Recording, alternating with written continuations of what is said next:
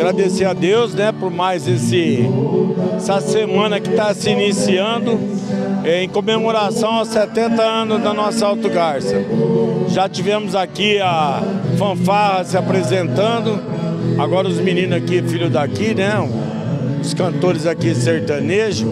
Então isso aí é um já esperando o show principal. A gente quer convidar a população, tá um chuvisqueirinho fino, mas aqui nós temos cobertura, temos uma praça de alimentação muito grande para atender a todos. Mas agradecer a todos os funcionários da prefeitura, que não mediram esforço, todo secretário.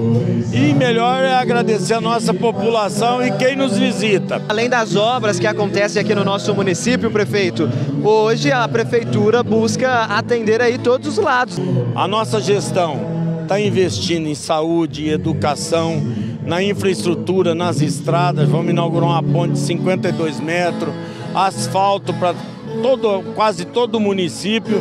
Está começando o período chuvoso, mas estamos trabalhando, o pessoal também está trabalhando das empresas para fazer o melhor.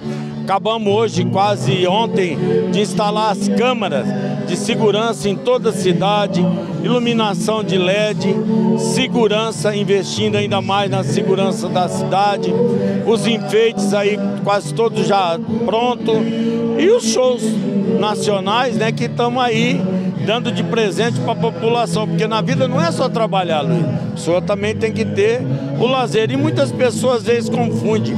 Se você for ver a economia de Alto Garça, principalmente esse mês, não tem um quarto para ser alugado em nenhum hotel da cidade. Casa para alugar para as empresas que estão vindo trabalhar, já no PSF 3, também não está encontrando. Pessoal da água, estão aí já instalando, encamisando o poço lá no bairro Boa Esperança, onde a gente também vai estar chegando uma caixa d'água de 100 mil litros.